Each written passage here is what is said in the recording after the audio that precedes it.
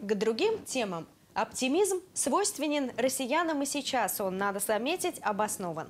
Несмотря на санкции, рынок труда держится достаточно уверенно. Сохраняются низкие показатели по безработице и высокий спрос на сотрудников. Что же касается доходов граждан, то по данным Росстата, в первом полугодии 2022 года они выросли почти на 13% по сравнению с аналогичным периодом 2021 года.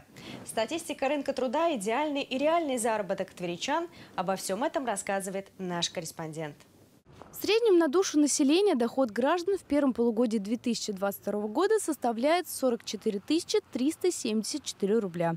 Однако рост доходов, к сожалению, часто сопровождается и ростом расходов. Причем в разных регионах эти показатели могут сильно различаться. Интересно и то, что по результатам исследования сервиса работа.ру больше половины работников России уверены в увеличении доходов в следующем году. При этом 31% рассчитывают на повышение зарплаты, а 28% на дополнительный доход доход. Какая сумма считается идеальным заработком, отличается ли она от реального и планируют ли жители дополнительно подрабатывать, мы спросили на главной улице Твери. 100 тысяч. А почему именно 100? Ну, так мне кажется. А как вы думаете, сейчас вот люди зарабатывают столько или намного меньше в среднем? Меньше. Меньше? Тысяч восемьдесят, а то и сто. А вы зарабатываете столько? Нет, к сожалению. А не планируете подрабатывать как-то? Нет, нет, спасибо. Наверное, такой, которого бы хватало бы на жизнь. 100, наверное, было бы хорошо. 150 было бы еще лучше. А ваш заработок ваш, вас устраивает? А, ну, в общем и целом, наверное, да. Я пенсионерка, у меня хорошая пенсия. А сколько, если не секрет?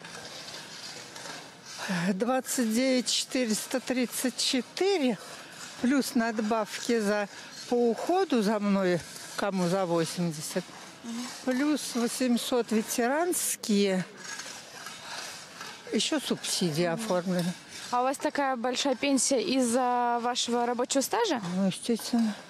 Нет, ну не только стаж. а Я 20 лет последних работала главным бухгалтером. Зарплата была приличная и стаж 38 лет. Как мы можем заметить, сумма идеального заработка начинается от 80 тысяч рублей. При этом реальный заработок вполне устраивает жителей Твери. Но несмотря на то, что 2022 год выдался непростым для экономики, сейчас наблюдается рост зарплат во многих сферах. Это сказывается на уверенности россиян по поводу их финансового состояния в 2023 году, отмечает заместитель генерального директора работа.ру Александр Ветерков. Поэтому не исключено, что размер зарплаты мечты россиян в 2023 году значительно вырастет.